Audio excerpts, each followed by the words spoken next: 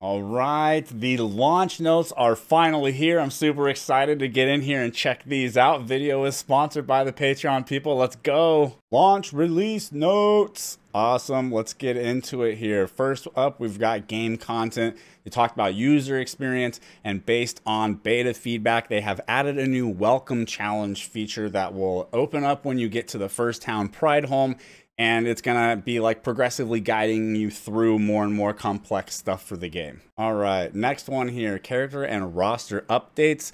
The level cap has been increased to 60. You know, that makes sense because we have the tier three now and the roster level cap. This is, uh, you know, like your account level thing.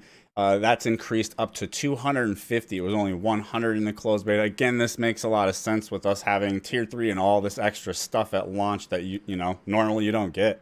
The removed summoner and added sorceress subclass is in the notes, so definitely don't expect that, you know, surprise uh, summoner, I'm thinking. And then next up here, we've got dungeon and raid content. Uh, three new continents added Yorn, Feiton, and Punika. Again, this is because we got the tier three of Chaos Dungeons. We get up to Punika through stages one through three. And then Yorn, Feiton, Punika, Chaos Gates have been added. Okay, Chaos Gates also cool. Uh, going on here, they say during the closed beta, content up to the Phantom Palace was available to players.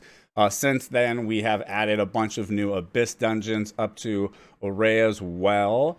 And then for Guardian raids, of course, they just mentioned they've added all the way up to the end of like the tier 5 ones. Tier 6 would be technically like the second half of the tier 3 ones. Below that here, they basically just tell us that they added the uh, other tower, you know, the tier 2 tower, and then also additional cube levels have been added. Uh, this next part is super exciting for me personally island and sea content. During closed beta, there was about 70 islands accessible, and they've added three more continents with 27 additional islands. That's super awesome.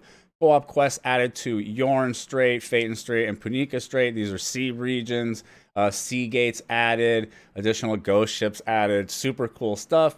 Moving on, we got scheduled activities. Players can check four types of content through the compass or accessing the calendar in the top left of the HUD. Activity times are based on the local time. Okay, yep, I've done a guide on this before, how like, you know, you can view all of the uh, different events. There's several different spots in the UI to view lots of different upcoming events they quickly here kind of give you a little rundown of the different types of events that there are, right? So you got field bosses, chaos gates, and ghost ships, and there's also adventure islands.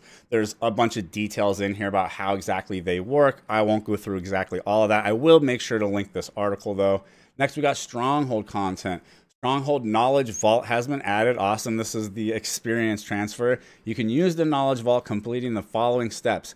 Complete the Stronghold quest first steps progress a character to level 50, complete North Vern main quest, and then complete Nothing is Impossible for Sickens quest offered by the Stronghold's Butler. Awesome. While receiving knowledge transfer, you can only transfer knowledge for one continent at a time. Transfers go in order of the storyline, starting from North Vern. Once knowledge transfer has begun, you cannot cancel, you cannot do instant complete. Characters receiving a knowledge transfer cannot use Power Pass. Knowledge Vault will be available for North Vern up to Feiton. Nice. So we could knowledge transfer all the way to tier two. All right, next section we've got gear and tiers. Uh, see, updated the tier one through tier three progression support after reaching a certain item level and completing continent world quest. You will get accessories and ability stones. RU had this; it's part of the catch-up thing. Uh, so you get basically like gold grade, you know, accessories and jewelry, and they all have like heavy armor on them and some like decent stats, at least usually like agility and crit, which will like work decent for leveling for you know pretty much everybody really. Uh, and see tier one here, we've got 100% success support. Oh wow, so we're getting the like increased leveling basically uh like on the gear for the 100% support. Uh wow. That's really awesome. Again, I will link this so you can go through all the fine details here, but this is nice. It sounds like we're going to have like a real smooth gear progression up through tier 3. All right, so next up, we've got events and rewards. They're letting us know that we're going to have login reward things going right off the bat for rewards. That's really cool to hear, in my opinion. The next really cool stuff out of here, I won't go through all of them to save time, is this one here. They added the ability for users to add an account similar to adding their roster as a friend and display which character they're currently playing on. Friend lists are no longer locked to characters. That is fantastic. The next step is guilds, please. And then the other massive one is obviously the DirectX 11 support. We're so like like RU doesn't have that yet. We are lucky. They don't have the knowledge transfer yet either. We are getting lucky on this launch. It's a beautiful version of the game. Next up, we got the new features. They mentioned the classes, letting us know about the, you know the sorceress and the uh, striker. You know we're getting those newer ones instead of some of the original ones.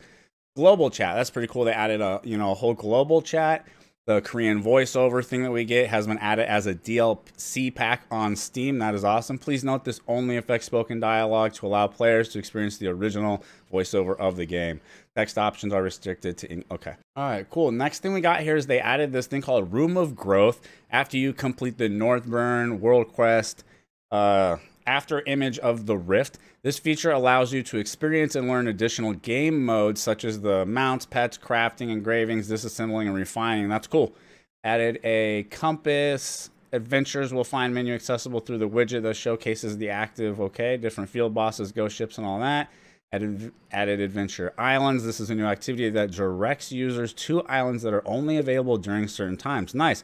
Once on the island, you'll begin a co-op quest and must face a boss in order to achieve Awesome. I want to do those. Custom PvP matches and spectating has been added. Okay, cool. Good stuff. Lots of good stuff. All right, cool. Let's get into the westernization stuff here. Free to play focus. They talk about, you know, there's been improvements to the monetization. One of the big things that they did was change the uh, getting extra loot at the end of things like abyssal dungeons from crystals to gold. That was a big step in the right direction there. Uh, they talk about improving on the you know the language filtering because uh, you know people had complained it was too restrictive. Uh, see currency exchange. They said that they updated that to be a little bit more clear and just make it more obvious. You know how the exchange works. Power pass. This is one that everyone is interested in. Two different ways to get the method one. When the player completes the main quest in North Vern, a single Vern Power Pass token will be okay. Awesome. So we're getting that same thing from beta. That's awesome. And a second power pass is granted if a player watches cutscenes and cinematics all the way through. Interesting. All right, and then let you know you can only get a maximum of two of the power passes per game account. And then there is this thing called Adventure's Path after you boost a character, and it kind of quickly, it's like a quest series essentially that very quickly runs you through, and you end up having to do like a certain like number of the main scenarios, like the Siege one, you know, like it puts you in there. All right, last section we've got here is on the store, and they just basically talk about working with Smilegate to improve things and letting us know also that the store will be available right off the bat, beginning with the early launch, including the Mari Secret Shop on its own schedule. Uh, the crystalline aura has been improved a bit for us, and it says here they will continue to add additional functions to it at launch. Uh, let's see, and then also odds information. This one was interesting and pretty cool. But any of the stuff that's in the store that is random, you can actually go to an odds page here. Again, this will be linked, and it you know has a breakdown of what your actual chances are you know? So maybe you don't you know waste it thinking that you've got a decent chance. All right guys well there is the launch notes. Finally getting those. Super awesome. A lot of really good stuff in there. I'm excited about it. Videos brought to you by the patreon people. Thank you guys very very much. If you enjoy my content maybe leave me the like comment subscribe and i'll catch you guys next time